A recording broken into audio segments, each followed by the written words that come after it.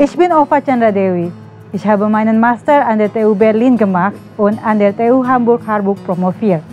Ich habe Urbanmanagement und Abfallwirtschaft studiert, weil ich dieses Fach ganz wichtig und interessant finde.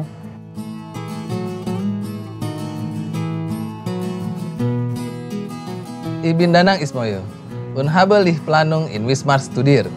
Jetzt habe ich zusammen mit ein paar Freunden eine Architektur- und Lichtplanung-Firma. Ich habe insgesamt 20 Monate Deutsch gelernt. Am Anfang habe ich an der Pusat Pelatihan Bahasa Universitas Indonesia Deutsch gelernt. Danach habe ich kurz beim Goethe-Institut Jakarta weitergelernt. Warum Deutschland? Weil meiner Meinung nach Deutschland ein ganz besonderes Land zum Studieren ist. Es gibt viele verschiedene Studienfächer, zum Beispiel Umwelt, Architektur, Technologie und natürlich öffentliche Verkehrsmittel, welches eins von den besten auf der Welt ist. Außerdem ist Deutschland ein Land mit einer sehr fortgeschrittenen Technologie.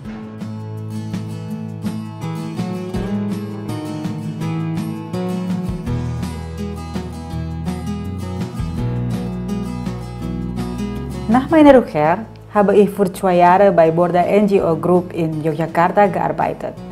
Das ist eine deutsche Nichtregierungsorganisation. Ich habe Module für die Bioabfallwirtschaft entwickelt und die Durchführung dieser Module betreut.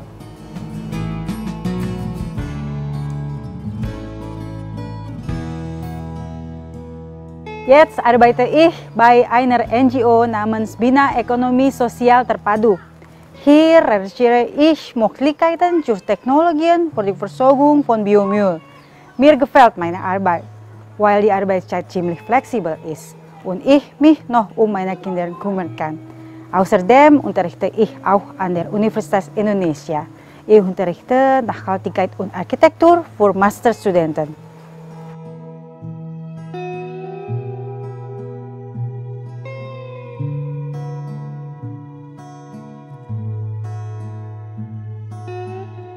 Während meiner Promotion in Hamburg habe ich auch an der Uni gearbeitet, und zwar an der TU Hamburg als wissenschaftliche Mitarbeiterin.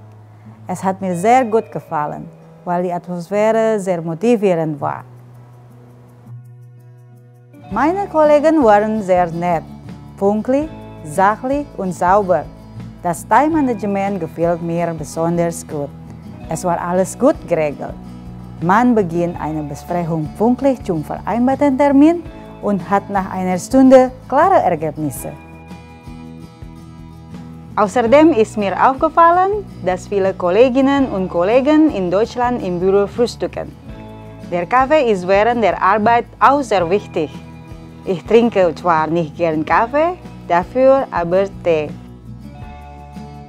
In Deutschland hatte ich ganz viele nette Professoren und Kollegen. Es war schön und wir haben uns wohl gefühlt. Bei den Deutschen ist es so, dass man vielleicht nicht so viele kennenlernt. Aber wenn man sich befreundet, dann so richtig. Von manchen Kollegen haben wir sogar auch die ganze Familie kennengelernt. Sie sind sehr warmherzig und nicht so oberflächlich wie Leute aus vielen anderen Ländern. Sie laden einen zu denen nach Hause ein, kochen für uns, fragen uns, was wir essen können und was nicht. In meiner Freizeit arbeite ich gerne im Garten und manchmal zeige ich den Leuten in der Umgebung, wie man auch zu Hause etwas anpflanzen kann. Als wir in Deutschland waren, habe ich das Grüne sehr genossen, zum Beispiel im Stadtpark. Manchmal verbrachten wir unsere Freizeit auch in der Stadt oder im Kino oder mit Eis essen.